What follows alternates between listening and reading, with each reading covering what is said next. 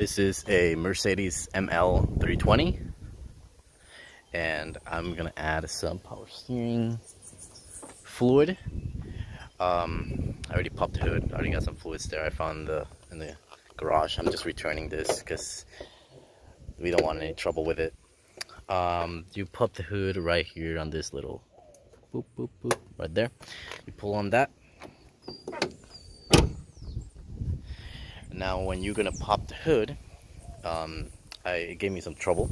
This, I had never dealt with a car like this but right here this is the, the handle to pop the hood. You find it right underneath right on the logo. Okay? Now this is the engine right here. You're gonna look right in there.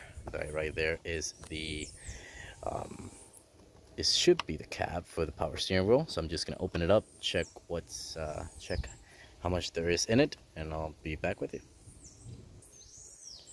So uh, I had to remove this because it was on the way. Um, I just added the liquid.